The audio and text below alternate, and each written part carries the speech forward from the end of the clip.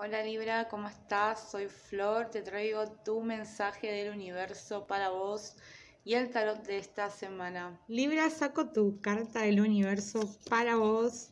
Creatividad. Sintonizo con la creatividad y nuevas ideas. Me inspira el flujo de energía que me conecta con la esencia del universo eliminando mis bloqueos. Tremendo, tremendo para vos, Libra. Me encanta. Yo soy Luna en Libra.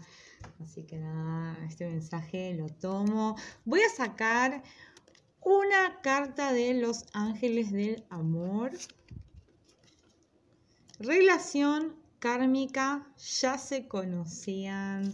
Bueno, claramente esta relación la cual estás atravesando o esta situación con esta persona es una relación totalmente kármica. Vamos ahora con tres cartas de las más para vos, Libra, sobre tu persona especial. Reina de Oros, carta que tanto te caracteriza. Caballero de Espadas, Sota de Oros, para vos, Libra, habla mucho sobre el movimiento y la manifestación. Claramente se ve que vas a abrir una brecha, una situación que se acomoda en tu vida, que te va a dar holgadez económica.